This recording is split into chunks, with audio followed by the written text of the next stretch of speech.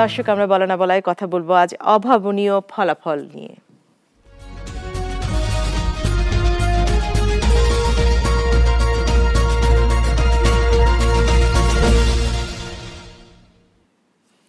দর্শক, আমরা দীর্ঘদিন ধরে কথা বলছি আপনাদের সাথে। নির্বাচন নিয়ে, নির্বাচনের উৎসব মুখর পরিবেশ, নির্বাচনের পরিবেশ, সবকিছু শেষে ফলাফল ঘোষণা হয়ে গেছে। নতুন সরকার আমাদের দোরগোড়ায় আমরা হয়তো নতুন বছরেই আগামীকাল দেখতে পারব এবং আগামী বছরে আমরা নতুন সরকার পাচ্ছি, নতুন মন্ত্রিসভা দেখতে পারব এবং ক্ষমতাসীন দল আওয়ামী লীগ অভাবনীয় সাফল্য পেয়েছে বিজয়ে। তারা বলছে বিজয়ের মাসে তাদের এই বিজয় তাদের কাছে কাম্য ছিল। অপরদিকে আমরা যেটি আমাদের সংস্কৃতি, রাজনৈতিক সংস্কৃতি বলা যায় যে আমরা দেখছি যে যে দল পরাজয় বরণ করে তারা সাধারণত নির্বাচন সুষ্ঠু হয়নি, নির্বাচনের ফলাফল প্রত্যাখ্যান করে। আমরা কি আবার সেই একই দিকে পিছিয়ে যাচ্ছি কিনা যে দলীয় সরকারের অধীনে নির্বাচন দীর্ঘদিন ধরে আমাদের দেশে এই দাবিটি হচ্ছিল। এইবারে দলীয় সরকারের অধীনে নির্বাচন এবং সব দলের অংশগ্রহণের কারণে ভাবা হয়েছিল দেশ একটি ভিন্ন মাত্রায় বা একটি উদাহরণ তৈরি করতে যাচ্ছে যে দলীয় সরকারের অধীনেও নির্বাচন সম্ভব। এই সব কিছু নিয়ে অভাবনীয় ফলাফল। এটি নিয়ে আজকে সাউদি রুব্রিকের নিবেদিত বলারা বলায় আলাপ করব। দুজন অতিথি আছেন আমাদের সাথে স্টুডিওতে আমি পরিচয় করে দিচ্ছি। বাম দিকে আছে নুরুল আলম লেলিন সভাপতি মণ্ডলীর সদস্য বাংলাদেশ আওয়ামী লীগ। আপনার সাবেক আপনাকে স্বাগত আমাদের আজকের বলানা বলায়। আরও আছেন ডক্টর রেজওয়ান সিদ্দিকী ভারপ্রাপ্ত সম্পাদক দৈনিক দিনকাল। আপনাকে স্বাগত আমাদের বলানা বলে। আমরা কাল থেকে সারাদিন কথা বলেছি আসলে নির্বাচন নিয়ে। নির্বাচন কেমন হয়েছে তার আগে বলেছিলাম নির্বাচনের আয়োজন, উৎসব, প্রচার, প্রচারণা। আমরা এখন আসলে একটু ফলাফল নিয়ে কথা বলতে চাই এবং এর পরবর্তী আসলে কি হতে যাচ্ছে, কি করণীয়? আমি প্রথমে একটু বলতে চাই সংসদীয় গণতন্ত্র। এটি নিয়ে আজ সারাদিনই অতিথিরা বলেছেন যে, সংসদীয় গণতন্ত্র কার্যকর সংসদ যদি আমরা দেখতে চাই, একটি বিরোধী দল থাকতে হবে। সেই ক্ষেত্রে আসলে বিরোধী দল বলে কিছু আমরা নতুন সংসদে দেখব কিনা, এটি একটি প্রশ্ন। আর আশি ভাগ ভোটার ভোট দিয়েছেন এবং ভোট খুবই সুন্দর হয়েছে, নির্বাচন কমিশনার দুপুরে বলেছেন। কোনোভাবেই বিরোধী দল বা ঐক্যফ্রন্ট তার যারা ভোট বর্জন করেছেন, তারা যে দাবি করেছেন, সেটি আসলে মেনে নেওয়া সম্ভব নয়, এটিও বলছেন নির্বাচন কমিশনার। ডক্টর রেজন সিদ্দিকি, প্রথমে আপনার কাছে আসতে চাইছিলাম। এখন ধর নির্বাচন কীরকম হয়েছে? এটা আপনি যে যেমন বলছেন যে অভাবনীয় বিজয় না ফলাফল। ফলাফল আসলে নির্বাচনে অভাবনীয় ফলাফল হয়েছে এতে কোনো সন্দেহ নেই। এবং নির্বাচনের আগেই প্রচার প্রচারণার ক্ষেত্রে দেখা গেছে যে এক ধরনের চরম বৈষম্য স্বাধীনভাবে কেউ বিরোধী দল কেউ প্রচার করতে পারে নাই। এবং এসব ক্ষেত্রে সরকার যত না দলীয় কর্মীকে ব্যবহার করেছে তার চেয়ে অনেক বেশি ব্যবহার করেছে পুলিশ বাহিনীকে পুলিশ বা আইন শৃঙ্খলা রক্ষাকারী বাহিনীকে। দেখা গেছে যে বিরোধী দলের যারা প্রবাবল এজেন্ট হতে পারে তাদের আগে এক দুই মাস আগে থেকে তাদেরকে তাড়া করছে পুলিশ। এবং এভাবে হাজার হাজার কর্মীকে গ্রেপ্তার করা হয়েছে। এবং শেষ পর্যন্ত একটা ঘটনা দেখলাম যে একজন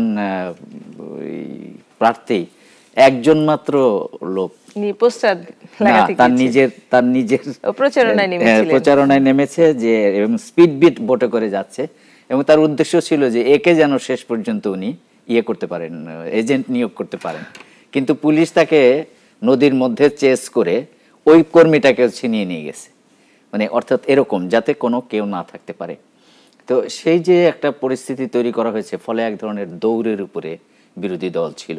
এবং এই দৌড়ের উপরে থাকার ফলে বিরোধী দলের যে অন্য যে জিনিসগুলো প্রচার প্রচারণা মিছিল, এবং দেখেন যে মিছিলের ক্ষেত্রে বা গণসংযোগের ক্ষেত্রে আপনারা ঢাকায় দেখেছেন যে শুধু ঢাকায় বলি সারা দেশেই হয়েছে যে মির্জা আব্বাস আফরোজ আব্বাস সালাউদ্দিন তা মির্জা ফখরুল ইসলাম আলমগীর ডক্টর কামাল হোসেন এই সমস্ত পর্যায়ের নেতাদের পর্যন্ত উপর হামলা করা হয়েছে। এবং ফলে যে নির্বাচনে যে সৌহার্দ্যমূলক একটা পরিবেশ সেই সৌহার্দ্যমূলক পরিবেশটা নষ্ট হয়ে গেছে। এবং এই সব কিছু কি ফলাফল বিপর্যয়ে বিশাল ভূমিকা রেখেছে? না ফলাফলে বিপর্যয়ের জন্য না অর্থাৎ অভাবনীয় ফলাফলের বিশাল অবদান রেখেছে। তো সেটা আমি বলতে চাচ্ছি। তো সুতরাং এই যে এই এটা করা হয়েছে, আগ পর্যন্ত করা হয়েছে এবং নির্বাচনের আগের দিন পর্যন্ত বিপুল সংখ্যক বিরোধী দলের নেতাকর্মীকে গ্রেপ্তার করা হয়েছে। অপরদিকে আপনার বিরোধী দলকে কোনো পোস্টার সাটাতে দেওয়া হয়নি কোনো জায়গায়। কেউ বেরোতেই পারেনি, পুলিশ ধরে ফেলেছে যে পোস্টার সাটাতে গেলেই পুলিশ ধরেছে কিংবা আওয়ামী লীগের যারা কর্মী বাহিনী, তারা তাদেরকে পিটিয়েছে। তো এই পরিস্থিতিতে আসলে কে সাহস করে? আপনি পোস্টার লাগাতে যাওয়া মানেই যদি জেল, জেলে যাওয়া হয়, তাহলে কেউ সাহস করে যাবে না। তো সেই সেই পরিস্থিতি তৈরি করেছে এবং তার ভেতরে নির্বাচনটা অনুষ্ঠিত হয়েছে। আমি কি এখানে থামবো? হ্যাঁ আমি একটু ডক্টর নু আলম লিলি আপনার কাছে দেন যে ডক্টর রেজন সিদ্দিকি যেটি বলছিলেন যে, এই কথাটি আমরা গত পনেরো দিন বা এক মাস ধরে তফসিল ঘোষণার পর থেকেই এই অভিযোগগুলো শুনে আসছিলাম। ফলাফল অভাবনীয় আমি বলছি। আওয়ামী লীগ কি আসলে নিজেও ভেবেছিল বা নিজেরাও আশা করেছিল যে এই পরিমাণ সাফল্য বা বিজয় তাদের ঘরে উঠবে? ধন্যবাদ নাগরিক টেলিভিশনের মাধ্যমে আমি দর্শক শ্রোতাদেরকে দু সালের শুভেচ্ছা জানাচ্ছি নূতন বছরের শুভেচ্ছা জানাচ্ছি। আজকে যে প্রশ্নটি আপনারা বললেন আপনারা নাম দিয়েছেন যে অভাবনীয়। কিন্তু আমি গতকালও রাতেও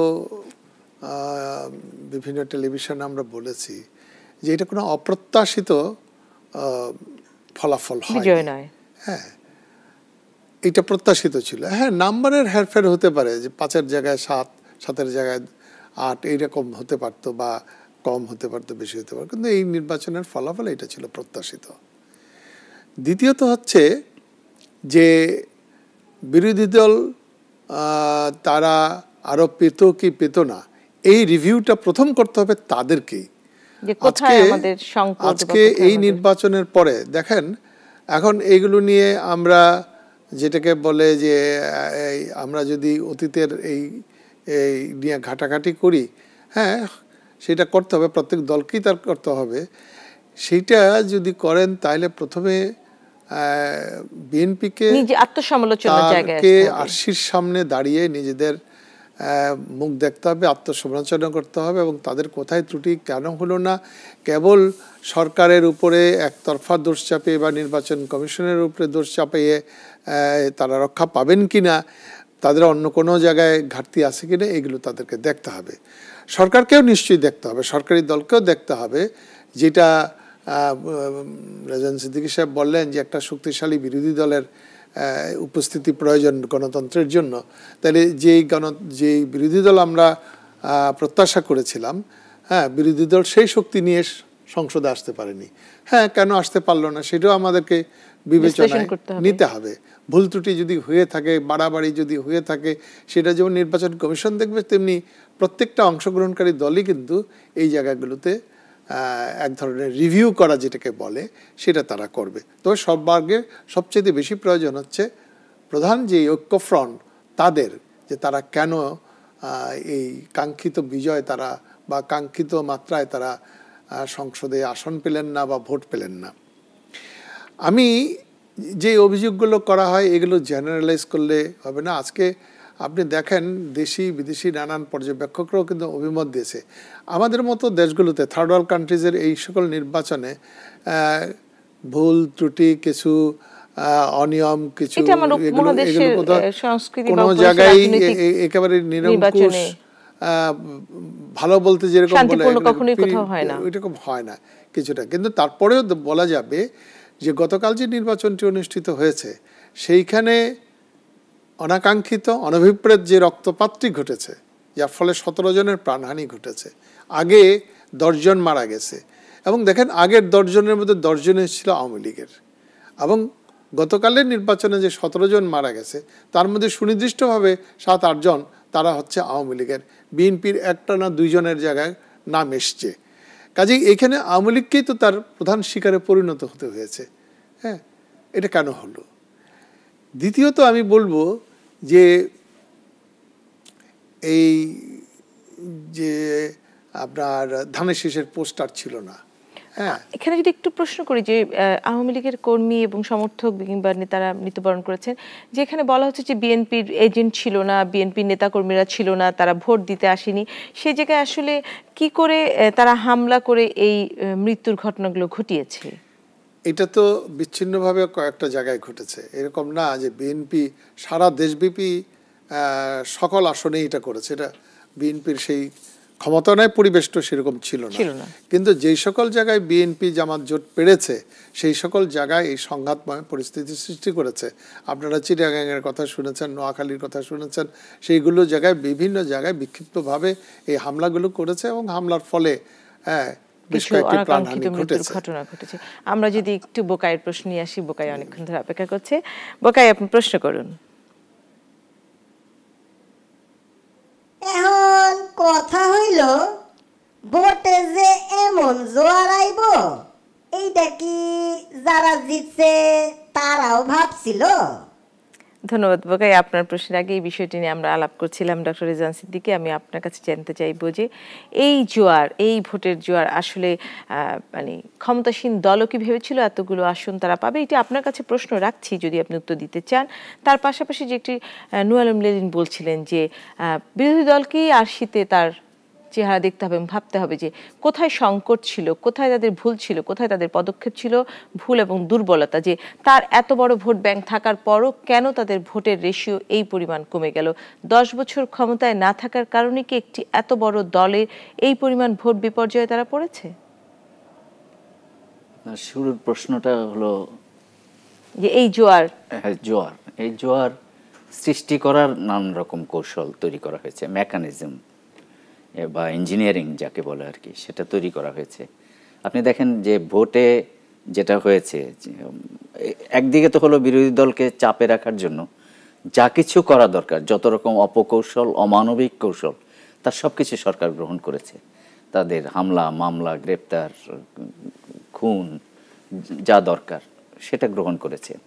অপরদিকে ইলেকশনের দিন কি হয়েছে সেটা আপনারা আপনার কাছে দর্শকের প্রশ্ন আছে একই সাথে একবারে আমি নিলে আপনি উত্তর দিতে সুবিধা হবে।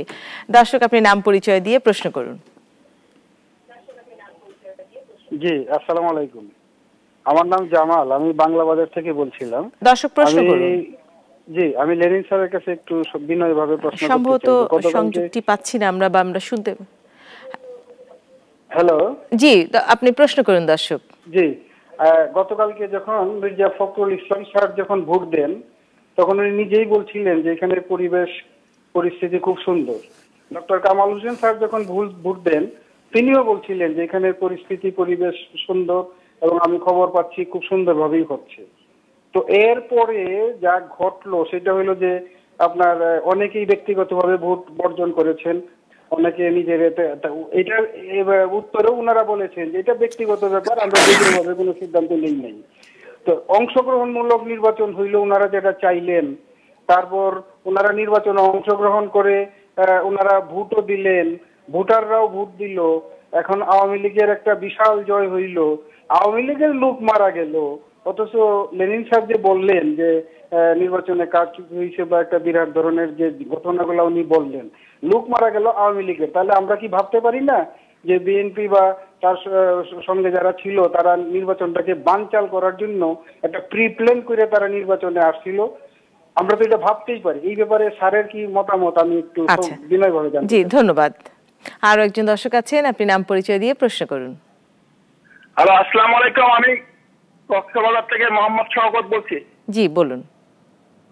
আমি বলতে চাচ্ছি যে আমাদের বঙ্গবন্ধুর একটা ভাষণ ছিল, জনগণের অধিকার চাই। আমি প্রধানমন্ত্রী তো চাই না। আমার বর্তমান পরিস্থিতি কি আমাদের জনগণ অধিকার দেশে আছে? আমার তো মনে হয় নাই। আমরা সঠিকভাবে নির্বাচনে নিজের ভোটটা কেন প্রয়োগ করতে পারলাম না? কেন বাধা দেওয়া হলো? কেন আমাদেরকে কেন্দ্র থেকে ফিরে ফিরে দেওয়া হলো? আমি এটা জানতে চাই আমাদের বঙ্গবন্ধুর ভাষণ দিছিল যে বঙ্গ আমি প্রধানমন্ত্রী চাই না আমি জনগণের অধিকার চাই। জি আপনি আপনার অধিকার প্রয়োগ করতে পারেননি সেই জন্য আপনার খুব ধন্যবাদ দর্শক। ডক্টর রিজওয়ান সিদ্দিকী। কোনটা দিয়ে শুরু হ্যাঁ, দর্শকের দর্শক দর্শক আহ, বসেই যেটা প্রশ্ন করেছেন যে যে ফখরুল এবং ডক্টর কামাল বলেছেন যে এবং ডক্টর কামাল। তো তারা বলেছেন হ্যাঁ আমি নিজেও শুনেছি যে তারা কি তারা যে কেন্দ্রে গিয়েছেন তারা বলেছেন তাদের দেখা কেন্দ্র খুবই সে সুষ্ঠু হচ্ছে ওই সময় পর্যন্ত সেখানে তারা গিয়ে ভালো অবস্থা দেখেছেন এবং ভালো ভোট হচ্ছে দেখেছেন এবং তাতে তারা সন্তোষও প্রকাশ করেছেন? সেটা নিয়ে আমার কোনো বক্তব্য নাই। কিন্তু পরবর্তী ঘটনাগুলো কিংবা ওই কেন্দ্রেই যে পরে কি ঘটেছে, সেটা তারাও অবহিত ছিলেন না বা আমিও অবহিত নই। তো সুতরাং সে একটা প্রশ্ন যে তারপরে কি হয়েছে? সরকারের প্ল্যানটা কি ছিল? আর দ্বিতীয় যে প্রশ্ন করেছেন, দেখেন, এটা একটা প্রমাণ যে নির্বাচন সুষ্ঠুভাবে হতে পারেনি। এবং সকলে ভোট দিতে যেতে পারেনি। আমি আসছি সে প্রসঙ্গে। তো ভোট ভোট যেটা হয়েছে, যেমন ভোট আগের রাতে, প্রধান প্রধান অভিযোগ যেটা, যে আগের রাতে আইন শৃঙ্খলা বাহিনী বা আওয়ামী লীগের অন্য যে বাহিনী আছে, তারা আগের রাতেই ভোটের বাক্সটা ফিফটি সিক্সটি পার্সেন্ট ভরে রেখেছে। তার একটা প্রমাণ আমি দিই সেটা হলো বিবিসির একটা রিপোর্ট আজকে যদি খেয়াল করে থাকেন। দুটো রিপোর্ট করেছে হ্যাঁ। দুটি আসন নিয়ে। চট্টগ্রাম নিয়ে একটি চট্টগ্রাম- সারাপাড়া নিয়ে। চট্টগ্রাম পনেরো আসনে। পনেরো আসন সারাপাড়াটা আমি বলছি। সারাপাড়া ভোট কেন্দ্র হ্যাঁ, কি ঘটছে? হ্যাঁ। একটি ভিডিও তারা ছেড়েছে ছেড়েছে। তো চট্টগ্রাম পনেরো আসনে দেখেন যে অর্ধেক সাতটা পঞ্চাশে উনি গেছেন এবং ব্যালট বাক্সটা প্রায় পূর্ণ। সেই ব্যালট বাক্সটা নিয়ে একজন আইন শৃঙ্খলা বাহিনীর লোক প্রিজাইডিং অফিসারের সামনে রাখছে। তো এই যদি হয়ে থাকে এরকম ঘটনা হাজারে হাজারে ঘটেছে। তো তার অর্থ তারপরে কি হয়েছে? যাতে মানুষ ভোট দিতে না পারে। এখন লাইন করে সব মানুষ দাঁড়াইছে অনেক জায়গায় যে লাইন শুধু। এই লাইনটা অগ্রসর হচ্ছে না মোটেও। লাইনের শেষ প্রান্তে গিয়ে দেখা গেল যে পোলিং বুথটা বন্ধ দরজাটা বন্ধ। এটি ঢাকা সাত আসনের একটি ছবি দিয়েছে হ্যাঁ, ছবি। তো দরজায়। দরজায় নক করছে। তো দশ মিনিট পরে বেরিয়ে এসে বলছে যে কাজ করছিলাম। কি কাজ করছিলেন? ওনার ভোট নেওয়া ছাড়া আর কি কাজ ওনার? ওনার তো ভোট নেওয়া ছাড়া কোনো কাজ নাই। এই অবস্থাটা হয়েছে। আবার আমি দেখেছি আমি যে কেন্দ্রে ভোট দিতে গেছি সেখানে অনেক ফ্যামিলিকে দেখেছি সপরিবারে ভোট দিতে এসেছেন। সেখানে আমি দেখেছি যে আহ, তো আমাকে চিনেছেন বলেছেন যে ভাই ভোট তো দিতে পারছি না। আমি কেন দিতে পারছেন না? বলে আমার নাম্বার নাকি ভোটার নাম্বার নিয়ে একটি দীর্ঘ সময় যুক্ত নাম্বার করতে হয়েছে এটা আমরা। কেন্দ্রে কেন্দ্রে এবং এখানে মানে আশপাশে যতগুলো বুথ আছে সব বুথে আওয়ামী লীগের অবশ্য সেখানে গিয়ে উনি নাম্বার তারাও বের করে দিতে না। সময় লেগেছে কিন্তু শেষ পর্যন্ত পেয়েছে হয়তো আচ্ছা, যাই। হোক, সেটা মানে অনেক জটিলতা তৈরি হয়েছিল এবার ভোটার নাম্বার পেতে কারণ বাসায় স্লিপ খুব কমই দিয়ে গেছে। সেরকম পরিস্থিতিতে সেরকম পরিস্থিতিতে মানুষ পড়েছে। আর দ্বিতীয় কথা হলো যে যেমন ধরেন ভোটের কেন্দ্রের ভেতরে একজন লোক দাঁড়ায় আছে সে বাধ্য করছে যে আমাকে আপনি কাকে ভোট দিচ্ছেন আমাকে দেখাতে হবে। আমার এক কলিগ গিয়ে বিপদে পড়েছে মায়ের খাওয়ার উপক্রম হয়েছে। তখন উনি চিৎকার চেঁচামেচি করছেন এবং পুলিশ ডেকেছেন। পুলিশ আসছে। এসে বলে কি হয়েছে আপা? ইয়ে করেন। দেখাই দেন না। দেখাই দিলে অসুবিধা কি? হ্যাঁ এরকম। এরকম অবস্থা হয়েছে। তো এখন কি করুন? চট্টগ্রাম ইউনিভার্সিটির এক প্রফেসর গোলাম মোস্তফা। তো উনি উনি লিখেছেন যে তিনি কি পরিস্থিতি মোকাবেলা করছেন? উনি দেখেন যে ইভিএম এ ভোট হচ্ছে ভেতরে একটা ছেলে দাঁড়িয়ে আছে। তো উনি প্রিজাইডিং অফিসারকে জিজ্ঞেস করছেন উনি পোস্ট দিয়েছেন যে এই- এ দাঁড়িয়ে আছে এ কে? বলল দেখায় টেখায় দিবে। বলে আমার দেখাই দিতে হবে না। তো বলো সে লোক বলতেছে না, আমার সামনে ভোট দিতে হবে। তখন উনি চিৎকার চেঁচামেচি করেছেন প্রিজাইডিং অফিসারকে ডাকছেন একে ডাকছেন, ওকে ডাকছেন। ডেকে তখন প্রায় ওনার, ওনাকে ওই ওই লোক বলতেছে যে, আপনি চলে যান, আপনার ভোট দিতে হবে না। উনি প্রায় বেরিয়ে আসছেন, তখন তাকে ভোট দিতে দেওয়া হয়েছে। ওই শুধু ওই মোস্তফা সাহেব যখন ভোটটা দিয়েছেন, তখন ওই ছেলেটা বেরিয়ে এসছে। অন্য সময় সে সেটা এরকম অনেকগুলো বিচ্ছিন্ন ঘটনা এগুলো বিচ্ছিন্ন বলছেন কেন? এগুলো ধারাবাহিকভাবে সারা দেশে হয়েছে। তো সুতরাং এই যে পরিস্থিতি এই যে অবস্থা তৈরি করা হয়েছে এই অবস্থার মধ্যে আপনি কীভাবে সুষ্ঠু ভোট হবে? চিফ ইলেকশন কমিশনার সাহেব ফাট করে বলে দিলেন আশি ভাগ ভোট কাস্ট হয়েছে। আমি যেখানে ভোট দিয়েছি লাইন কিন্তু আছে। আমি লাইন ঠেলে চলে গেছি। আমি বললাম লাইন এমনি দাঁড়িয়ে আছে কেন? তো গিয়ে দেখি লাইন না আসলে। বুথের সামনে খানিকটা জায়গায় ফাঁকা খোশ গল্প করতেছে পুরোটা লাইন। তা আমি গিয়ে গিয়ে বললাম, আমি ভোট দিতে এসেছি, আমি আমি লাইনে দাঁড়াবো না। তো ভোট ভোট দিতে গিয়ে দেখি ভেতরে চারজন লোক, আমাকে নিয়ে চার বা পাঁচ। হ্যাঁ এটি যদি ভোটের চিত্র হয়, মাঠের চিত্র, ডক্টর রেজান সিদ্দিকি যে বলছেন আমি নু আলম লিলিম আপনার কাছে এর উত্তর চাইব বা এটি নিয়ে আলোচনা করব। বিরতিতে যাচ্ছি, বিরতির পর ফিরে এসে। দর্শক সাদি রুব্রিকের নিবেদিত বলা না বলা অনুষ্ঠানে ছোট্ট একটা বিরতি যাচ্ছি, আমাদের সঙ্গেই থাকবেন।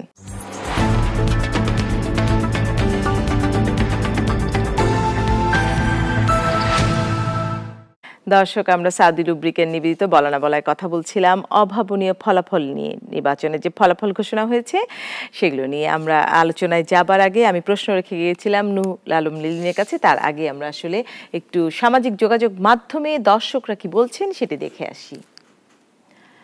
রুহুল আমিন বলছেন, নিরঙ্কুশ সংখ্যাগরিষ্ঠতা আওয়ামী লীগের বিপদ বাড়িয়ে দিয়েছে। বিপদমুক্ত থাকার জন্য নীতি নির্ধারকদের একজনকেও মন্ত্রী পরিষদে চাই না। সমালোচক বলছেন, তার ছন্দনা ছদ্মনাম নির্বাচনে জয়ী হতে না পেরে ফলাফল প্রত্যাখ্যান করেছে ঐক্য ফ্রন্ট। শুভঙ্কর সরকার বলছেন বাংলাদেশের নির্বাচনী অনেক অভিযোগ শুনতে পাচ্ছি, কিন্তু সেই অভিযোগের সপক্ষে প্রমাণস্বরূপ কোনো ছবি বা ভিডিও দেখতে পাচ্ছি না। কেন? মমতা ব্যানার্জি লিখেছেন heartiest congratulation to Sheikh Hasina ji on the victory in the Bangladesh general election Bangladesh জাতীয় সংসদ নির্বাচনে জয়ের জন্য শেখ হাসিনা জিকে জানাই অভিনন্দন। আমরা দু ধরনের মতামত দেখছিলাম সামাজিক যোগাযোগ মাধ্যমে। নু আলম লিলিম আপনি যদি একটু বলেন।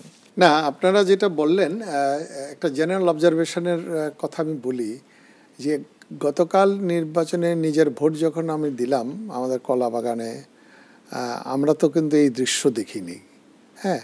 এবং আমরা আসলে এই দৃশ্য দেখার কথাও নয় যে আমরা না আমরা আমাকে কথা বাদ দেন। আমি আমার ওয়াইফকে বললাম যে তুমি একেবারে শেষ দিকে যাবে। গিয়ে দেখো যে তোমার ভোটটা। দেয়া আছে কিনা। কিন্তু সে তো সানন্দে ভোট দিয়ে এসে আমাকে বলল যে না ভোট তো হচ্ছে খুব ভালো। এইটাই যে সাধারণ চিত্র মানে এই যে আপনারা যেটা বললেন এই যে ডক্টর যেটি বলছিলেন। উনি যেটা বললেন সেটা কিন্তু আপনাদের আমি তো উনি আর আমি কিন্তু সারা দেশের কোথাও যাইনি। হ্যাঁ আমরা ঢাকায় হয়তো কিছু দেখেছি। এটা কিন্তু সাধারণ চিত্র না। সাধারণ চিত্রটা আমরা গণমাধ্যমে বিভিন্ন এই যে তেত্রিশটা চৌত্রিশটা আপনার চ্যানেলে আমরা সারাদিন আমি ঘুরে ঘুরে সেগুলো দেখেছি এবং সেখান থেকে তো প্রত্যেক জায়গা থেকে সাধারণভাবে যেটা এসছে যে হ্যাঁ সেইখানে অনেক জায়গায় ধানের শীষের কোনো এজেন্ট পাওয়া যায়নি। ধানের শীষের কোনো কর্মী সমর্থক ছিল না। হ্যাঁ বা অনেক সময় স্লিপ পাওয়ার মতো দেওয়ার মতো লোকও ছিল না স্লিপের কোনো বুথই বসান বা ধানের শীষের এই অভিযোগগুলো জেনারেলি ছিল কিন্তু ভোট দিতে পেরে খুশি এই সাক্ষাৎকার তাইলে কি আপনারা মিথ্যা প্রচার করছেন গণমাধ্যম? আপনারা প্রতিটি গণমাধ্যমে যে দেখানো হলো আজকেও সারাদিন আমি দেখছি যে সেখানে যে ভোট দিতে পেরে খুশি তারা ভোট দিয়েছে এবং এটা কেবল সুতরাং আমি এটা বলি যে হ্যাঁ একটা মিশ্র প্রতিক্রিয়া আছে এবং আহ, কোন কোনো জায়গায় এই ধরনের অনিয়ম আমাদের দেশে নতুন কিছু নয় আমাদের অতীতে হ্যাঁ। এগুলো ঘটে নাই এরকমও না। প্রধান প্রবলেমটা তো অন্য জায়গায় সেটা দেখতে হবে যে যাদেরকে বিএনপি ক্যান্ডিডেট দিয়েছে হ্যাঁ এই কথা কালকে টেলিভিশনের এই মধ্যেও দেখেছি যে ভোট দিয়েছে তারা ভোট দিতে গেছে। চিনেই না। প্রার্থীর কোনো নাম জানে না জানে ধানের শীষ। হ্যাঁ কোনো প্রার্থীর নাম জানে না। এমন অজ্ঞাতনামা অখ্যাতনামা প্রার্থীদেরকে মানে মনোনয়ন দেওয়া হয়েছে সেটা জানে না। দুই নম্বর হচ্ছে বিএনপি বা ঐক্যফ্রন্টের এমন সব প্রার্থী দেওয়া হয়েছে যারা নির্বাচনের ব্যাপারে শঙ্কিত ছিল আগাগোড়া। হ্যাঁ নির্বাচনের শেষ পর্যন্ত কি নির্বাচন হয় কিনা শেষ পর্যন্ত তারা মাঠে থাকবে কিনা শেষ পর্যন্ত আবার মাঝখানে উড্র করে কিনা কারণ এই উড্র করে কি করে না করব কি করব না করেও কিন্তু ছাব্বিশ জনের কথা বলা হচ্ছে বা ছিয়াত্তর জনের কথা বলা হয়েছে বিভিন্ন দলের যে যারা নিজেদেরকে উইড্র ঘোষণা করেছে। কাজে এই যে একটা হাফ হার্টেড চিন্তা নিয়ে নির্বাচনে অংশগ্রহণ, সেখানেই তো তাদের একটা বিরাট শূন্যতা। আমি এটাও দেখেছি যে সেনাবাহিনীর কথা বলি, আমি কয়েকদিন আগে আমার নিজের এলাকায় নির্বাচনী এলাকায় গিয়েছিলাম। আমার নির্বাচনী এলাকায় কোনো সংঘাত হয়নি। কোনো রকম সংঘাতের ঘটনা আমরা শুনিনি।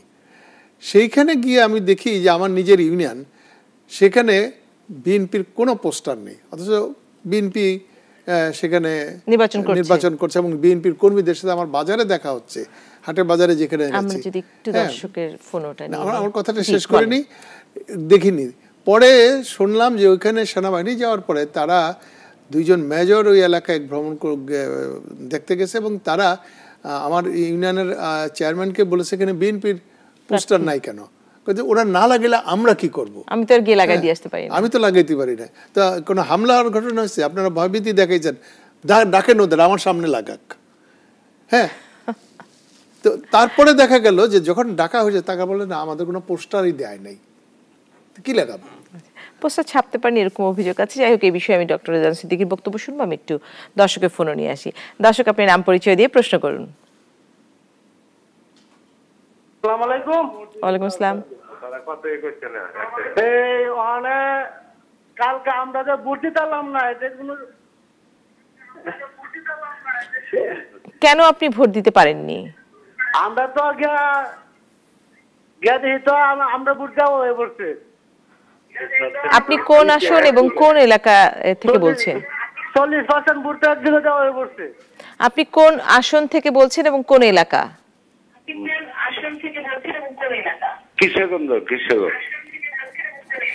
জি ধন্যবাদ। আরও একজন দর্শক আছেন কেটে গেছে সংযুক্তি। আহ, ভোট, জাল ভোট এটি আসলে বাংলাদেশের নতুন কিছু নয় এটি আমরা যদি পেছনের দিকে অনেকগুলো নির্বাচন দেখি, সহিংসতা জীবনের মৃত্যুর কারণ এটিও আসলে নতুন কিছু নয়। তবে আমার, আমি একটি প্রশ্ন ডক্টর রিজন সিদ্দিক আপনার কাছে রাখতে চাই। অনেক আগে থেকেই বলছিল, সহিংসতা হবে, নাশকতা হবে, এরকম কিন্তু আপনার আশঙ্কার কথা প্রথম থেকে বলেছিলেন। আপনারা বলেছিলেন যে সকাল সকাল ভোট দিতে আসুন, আহ্বান জানিয়েছেন ভোট কেন্দ্র পাহারা দিন। শেষ পর্যন্ত আমরা দেখেছি একই কথা সরকার দলীয় বলেছে যে ভোট কেন্দ্র পাহারা দিতে হবে কারণ সহিংসতা তৈরি হবে। এটিকে আসলে একটি উত্তেজনার কর পরিস্থিতি বা একটা সংশয়কর পরিস্থিতি তৈরি করেনি মানুষের মধ্যে সংশয় তৈরি করেনি। এবং যেটি নু আলম লেলিন বলছিলেন যে আপনারা শেষ পর্যন্ত ভোটে থাকবেন কিনা? আপনাদের কর্মীদেরকে আপনারা সেই রকম কি? আপনারা বলে আমাকে মিন করা না আমি বলছি সেই রকম না আমি আমি বলছি যে BNP বিএনপি কি সেই রকম কোন পরিস্থিতি তৈরি করতে পারেনি? তার তার কর্মী বা সমর্থকদের মনে সেই ধরনের আশার সঞ্চার বা সেই ধরনের প্রত্যাশিত জায়গাটা তৈরি করতে পারেনি? না সেরকম ব্যাপারটা সেরকম নয়। ব্যাপারটা হলো যে ত্রাসের রাজত্ব কায়েম। সরি যে ত্রাসের রাজত্ব কায়েম করা হয়েছে এবং যেটা লিন ভাই বললেন যে ভোট পোস্টার লাগায়নি এরকম ঘটনাও কিন্তু ঘটছে বলে এবং পত্রিকায় ছবি সহ ছাপা হয়েছে যে পোস্টার দেড় টনে ট্রাকে করে নিয়ে যাচ্ছে ট্রাকে তুলেছে এই ট্রাকটা আটকে দিয়েছে পুলিশ, ফকিরাপুল। ফকিরাপুলই তো ছাপার জায়গা। তো এখন সেটা আটকে দিয়েছে। এটা এক জায়গায়, এক টক শোতে আবার আরেকজন বললেন যে, আটকে দিয়েছে তো কি হয়েছে? তো ফটোকপি করে দিত পোস্টার। তো ভালো মানে সমাধানটা দিয়ে দিচ্ছে। আপনি পোস্টার ছেপে লাগাতে পারবেন। তা আমাকে ফটোকপি করে দিতে হবে কেন? আমার, এবং আমার গাড়িটা আটকাবেন কেন? তো সুতরাং সে ঘটনাও ঘটেছে। এবং এর সঙ্গে একদিকে আতঙ্ক একদিকে হলো প্রচার করতে যেতে না পারা বাধা দেওয়া এবং পুলিশি গ্রেপ্তার অভিযান এই সব মিলে। এবং দেখেন যে যেসব জায়গায় বিএনপি নিশ্চিত নয় আওয়ামী লীগ যে এখানে আমরা জিতবো কি জিতবো না সেখানে ক্যান্ডিডেটদের অ্যারেস্ট করে ফেলেছে। এবং ক্যান্ডিডেটদের উপর হামলা তাদের উপর নানান রকম অত্যাচার সেটা কিন্তু করা হয়েছে। একটি কথা বলেছিলেন যে এমন এমন ক্যান্ডিডেট এবং প্রার্থী আপনারা দিয়েছেন যে আসলে জনগণই জানে না তারা এলাকায় সেভাবে পরিচিত না এবং এত বেশি সংখ্যক প্রার্থী দিয়েছেন কে শেষ পর্যন্ত আছে কে নেই কে উইথড্র করল এটি একটি মানে হজবরল ছিল কি বিএনপি বা ঐক্যফ্রন্টের খানিকটা সরকার যে পরিমাণ মারমুখী ছিল এবং সরকার যে পরিমাণ অগণতান্ত্রিক ছিল তার ফলে তারা তো নিশ্চিত হতে পারে নাই যে একে আবার কোন মামলায় ফাঁসায় দেয়। মামলা তো গায়েবী মামলা তো হাজারে হাজারে আছে। তো এ কোন মামলায় একে ফাঁসায় দেয় একে অযোগ্য ঘোষণা করে দেয়। এই এই যে একটা ভানারেবিলিটি সেখান থেকে কিন্তু তারা যেটা মির্জা ফখরুল ব্যাখ্যাই করেছেন যে আমরা এই কারণে একাধিক প্রার্থী দিয়েছি যে সর্বোচ্চ সংখ্যক হ্যাঁ যে যাতে আমাদের শেষ পর্যন্ত আমাদের ক্যান্ডিডেট থাকে। মানে একজন গেলে প্ল্যান বি প্ল্যান সি এরকম এবং তারা এটাও বলেছেন যে সেই জন্য আপনারা কখনো প্রার্থীর দিকে চিন্তা করবেন না। আপনারা মনে করেন আপনাদের প্রার্থী ধানের শীষ। মানে মার্কায় আপনারা হ্যাঁ মার্কায় ভোট দেন। সেটা করতে বাধ্য হয়েছে এবং পরিস্থিতিটা তাই ছিল যদি স্মরণ করেন। জি, আমরা ছোট বিরতিতে যাচ্ছি, বিরতির ফিরে এসে আরও এই বিষয়ে কথা বলব। অভাবনীয় ফলাফল আমরা কথা বলছিলাম সাউদি লুব্রিকের নিবেদিত বলা না বলা অনুষ্ঠানে।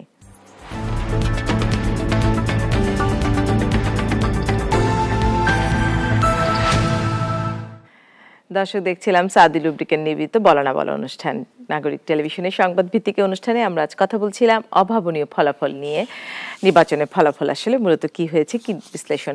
নূর আলম নীলিনী আপনার কাছে আসছি এবং বলতে চাচ্ছি যে আগামী পাঁচ বছর যেহেতু জনগণ ম্যান্ডেট দিয়েছে, নতুন সরকার গঠিত হবে, এই সরকার হয়তো অনেকেই মন্ত্রী পরিষদে থাকবে এবং সংসদে যাবে সবাই।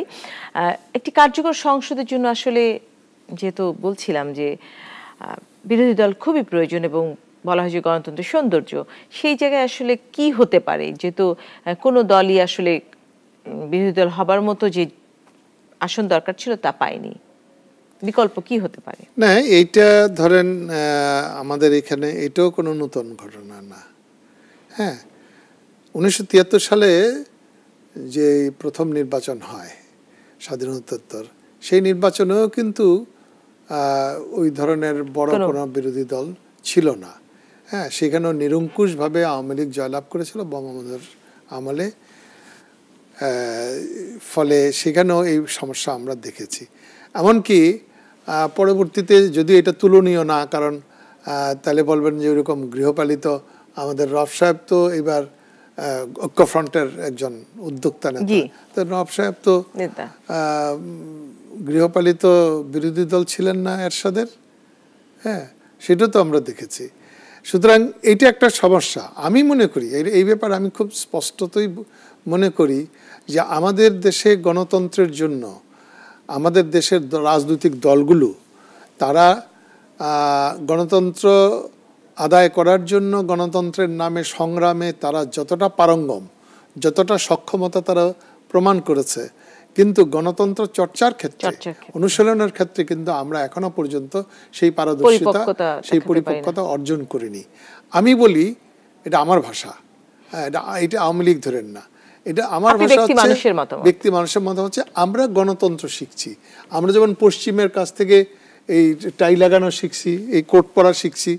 হ্যাঁ এমনি আমরা অনেক কিছুই কিন্তু western democracy western democratic culture এগুলোকে আমরা আস্তে আস্তে আত্মস্থ করছি এবং ফলে আমাদের একটা দীর্ঘ সময়ের ভেতর দিয়ে এখানে বলা যেতে পারে একটা গণতান্ত্রিক সুস্থ গণতান্ত্রিক সহিষ্ণু গণতান্ত্রিক সংস্কৃতি গড়ে তোলার জন্য আমাদের ধৈর্যশীল প্রচেষ্টা চালাতে হবে। এবারে এই নির্বাচনের ভেতর দিয়ে ঠিকই জাতীয় সংসদের মূল যে বৈশিষ্ট্য চরিত্র দুই হাজার চোদ্দ সালে ছিল সেখান থেকে আহ, খুব একটা বড় পরিবর্তন হলো না। হলে পরে ভালো হতো। হ্যাঁ, তারপরে আমি বলব যে হ্যাঁ এখন আহ, যদি বিএনপির যে পাঁচজন সাতজন বা ফ্রন্টের তারা বা স্বতন্ত্র আছে তিনজন তারা আছে বিশ জন। জাপার। না ওরা তো আগেই ছিল তো মহাজোট ওদের আমি ইনক্লুড করছি না অপোজিশনও ফেলছি না।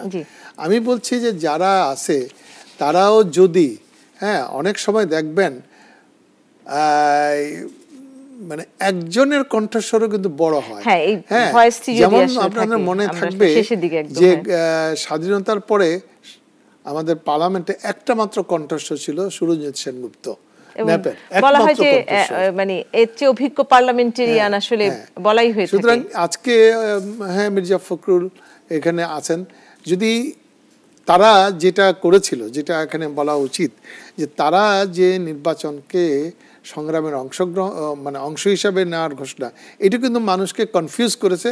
বিএনপির কর্মীদেরকে কনফিউজ করেছে।